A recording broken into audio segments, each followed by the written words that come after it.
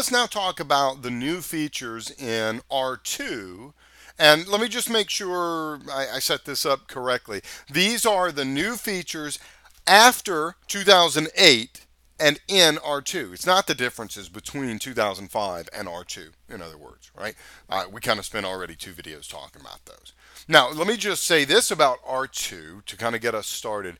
R2 is probably a little bit more than R2.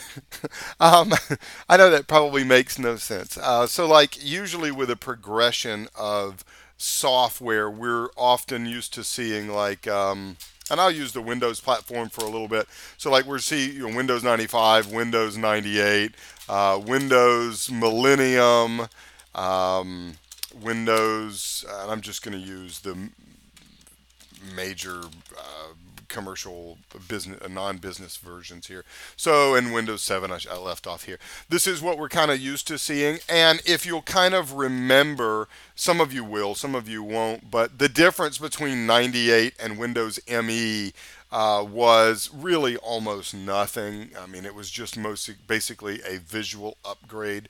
There were some minor new features, but it was not enough to really warrant a completely new version. The only reason that we got a new version, hey, the year 2000 is here, got to have new software, right? that was really what it came down to. Now, with SQL Server 2008 R2, this is a bigger change than just going from like Windows 98 to Windows ME. This is actually a fairly significant change. And so, what I mean by Windows R2 or SQL Server 2008 R2 is not just an excuse to charge money for the same old product, is that there are really some significant improvements in R2 and significant new things in R2. You know, a lot of times with R2 versions of Microsoft software, which to be fair, is a rarely uh, relatively new phenomenon. A lot of times these are just improvements, enhancements, performance, uh, new drivers, updated this. Not so here with R2. Okay, so R2 has new features that we like as well. Now, to be finally focused. We're here to talk about 2008 reporting services and 2008 R2 reporting services. So that's where our focus has to be for this video. And in 2008 R2 reporting services, there are only minor changes. Okay. However, R2 as a whole product covering the entire SQL Server database engine, analysis services, reporting services, integrations. As a whole product, it's not just a facelift to SQL Server 2008. Okay? There are new features and such. Okay? So, like I say, in reporting services R2, we've got not that many new features, but it's certainly a more usable product than 2008 is. Uh, most of the changes are going to revolve around how you interface with the product. Okay, so we're going from a product in SQL Server 2008 that uses Visual Studio 2008 to a product in Visual Studio 2010 with SQL 2008 R2. So that's going to be a fairly significant difference right there. There are many changes, many differences in Visual Studio 2010, and you know that's going to cover a large part of the usability of working with R2. Okay. Uh, so some of the new features that I chose to focus on were the ones that I liked the most. This is by no means meant to be a, an all-encompassing list, but my favorite new features, number one, it's definitely my number one. It's my favorite one is the report part gallery. And what this allows us to do is instead of now publishing a report as an item, now you can republish just a report part.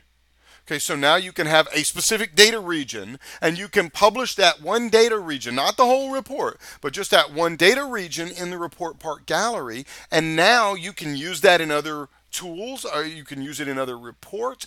Other users in your organization can use that in their own reports. You have now published your own data region. Okay, so it's it's like report publishing by doing report parts. You're not having to publish an entire report. And now when you're working with the report builder, you can also publish to the report part gallery, which there is a new version of report builder, a report builder 3.0. And I will tell you that it is very slick.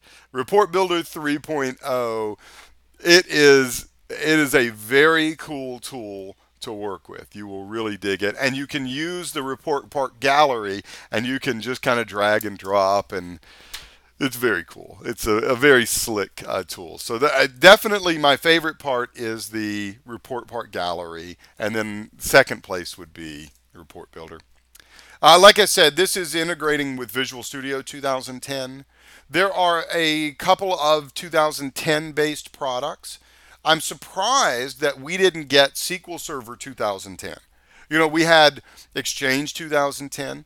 Visual Studio 2010, SharePoint 2010, Office 2010, but we didn't get SQL Server 2010. That was, um, I don't know, I guess I was surprised a little bit by that. Uh, so we get R2, right? So uh, anyway, with Visual Studio 2010 does come a new Ajax-based report control. So if you are an ASP.NET developer uh, you're really going to get a lot of use out of the Ajax uh, report control. You know, people love to have Ajax-based calendaring controls, Ajax-based pages. We don't have to refresh the whole page. We don't get that annoying ASP.NET pop-up that says to perform the following operation, you have to resend your request. Much finer, much uh, more usable there. Uh, like I said uh, earlier, this there is the new SharePoint 2010.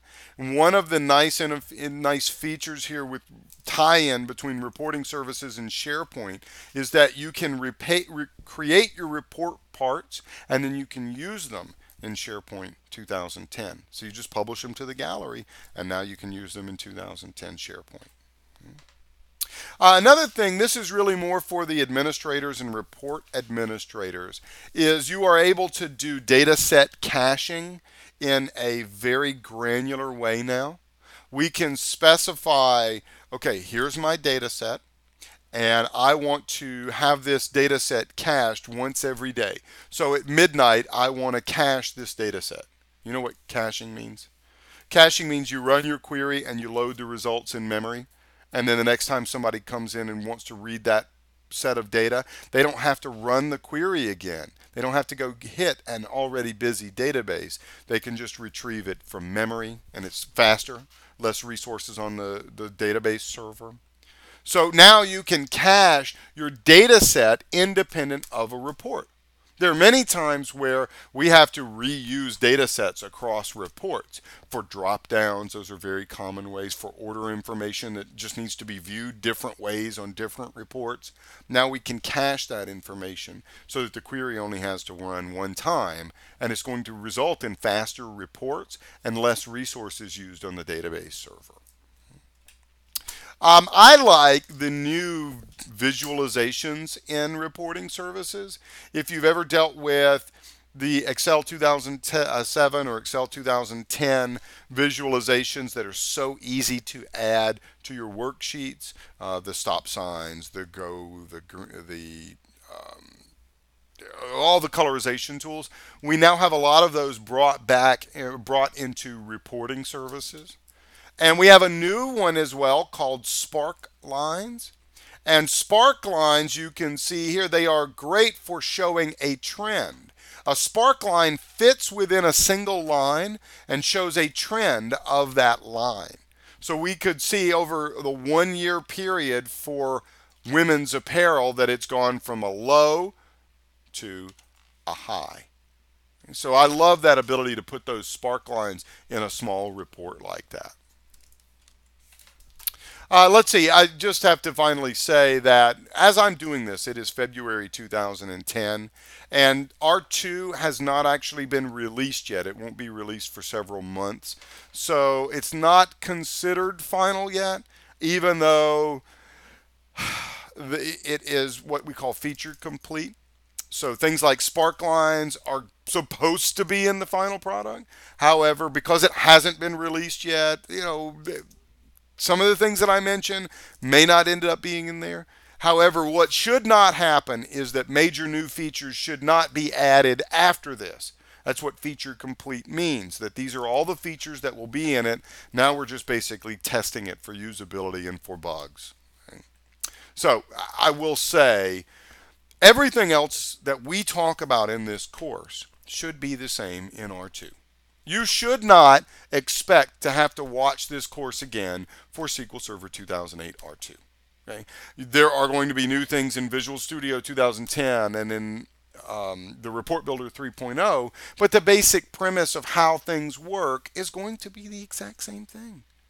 At some point, I may come up with a What's New in R2 Reporting Services course. You might check the website for that, uh, but you know, they, it's just not so drastically different that you'd need to take an entire course again.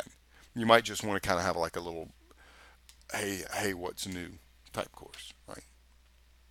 Uh, okay, so I tell you what, let's go ahead and stop here. Let's come back and talk about the databases and the data sources that we're going to talk about in this course.